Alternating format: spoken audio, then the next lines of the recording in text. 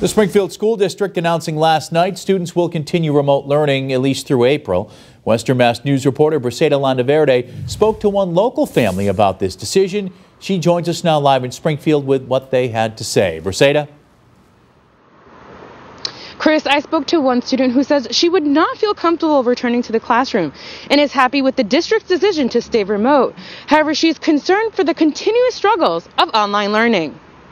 It's kind of hard on virtual because, like, you know, problems with the internet and stuff.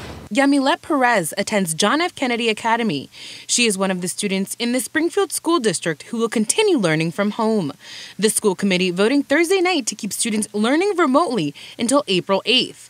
Perez tells Western Mass News she misses in person learning. I guess, like, in real life, I can learn better than, like, on virtual because, like, people, like, go different paces on virtual than, like, having to ask personally in real life.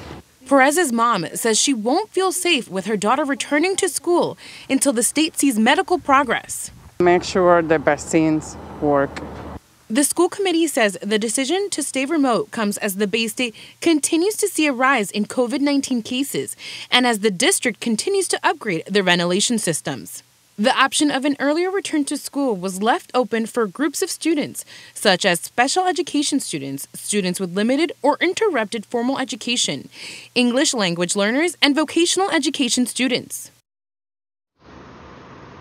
The school district says a decision to return to in person learning will ultimately depend on the state of the COVID 19 pandemic. The committee's next session is in January. For now, reporting live in Springfield, Briseida Landaverde for Western Mass News.